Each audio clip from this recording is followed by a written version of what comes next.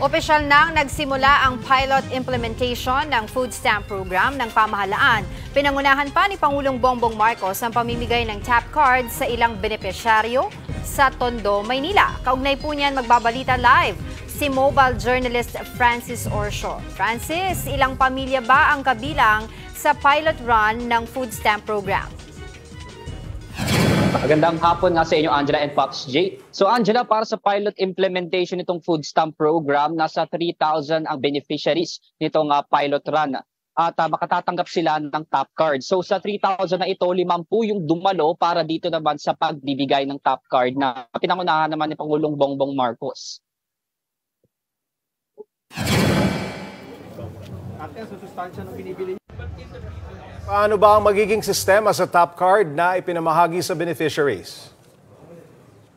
Mm, Pops J, itong top card kasi ito yung gagamitin ng bawat beneficiaryo para makapamili. Parang ATM card yung uh, yung peg nitong top card na naglalaman naman ng 3,000 pesos na worth ng food credits. Para naman daw healthy yung mga pamilyang beneficiaryo, may porsyento o hinati ang mga pwede lang bilhing pagkain. 1,500 pesos yung voucher na nakalaan para sa carbohydrates, kabilang ang bigas, noodles, tinapay at mais. 900 pesos voucher para naman sa mga protein and fat foods gaya ng mga baboy, manok, baka, isda, pati na rin itlog at 600 pesos para sa prutas at gulay. Francis, paano naman makakasiguro na yung may-ari mismo ang makikinabang at syempre may iwasan yung pagsanla ng uh, dito sa top card? Mm-hmm. Bukod sa may-ari na nakapangalan or yung may-ari yung nakapangalan doon sa top card, nakarehistro rin dito yung fingerprint nila.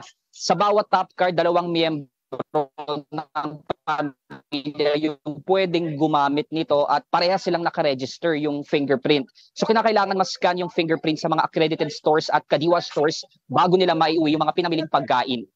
Francis, bukod naman sa kadiwa stores, saan pa pwedeng magamit ang mga top cards na yan? Mm-hmm.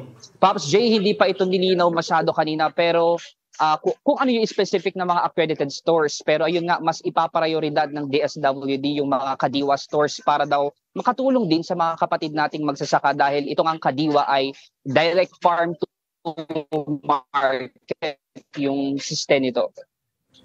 Nasa pilot run pa lang ang programa na target matulungan ang nasa isang milyong pamilya. Francis, paano ito planong gawin?